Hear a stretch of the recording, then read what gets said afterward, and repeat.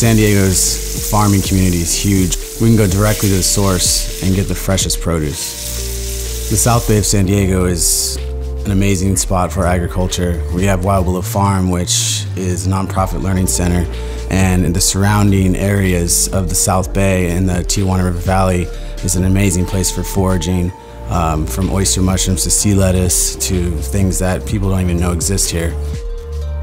My role as a mentor to my chefs is to teach them the whole process from soil to plate. We have a stage program that works directly with my farm and the importance of seeing produce from soil to plate is is priceless. You know, many many people go through our careers in the chef industry and have never seen something be planted before or have never harvested. And it's very important for me to educate my employees so then they can become amazing chefs in the future.